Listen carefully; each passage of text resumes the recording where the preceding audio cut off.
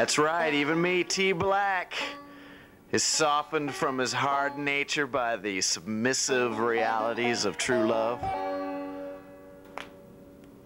So when I first met Zoe, she was very elusive to me, very hard to get in touch with. She'd disappear after class. I could never reach her on the phone.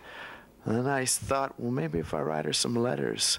And the more letters that I wrote her, the longer those letters got, and the farther I was willing to walk in order to uh, drop those letters off at her house, just to have some sort of interaction with her, sometimes 45 minutes in the snow. It was worth it all, those steps that I took, those words that I wrote. It was worth it all. I use tattoos to symbolize important points in my life. I like the idea of a tattoo rather than a wedding ring. You can always huck it for the gold value.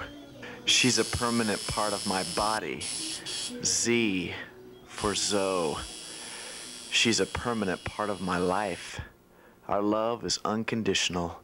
I adore you, my Zoe, forever.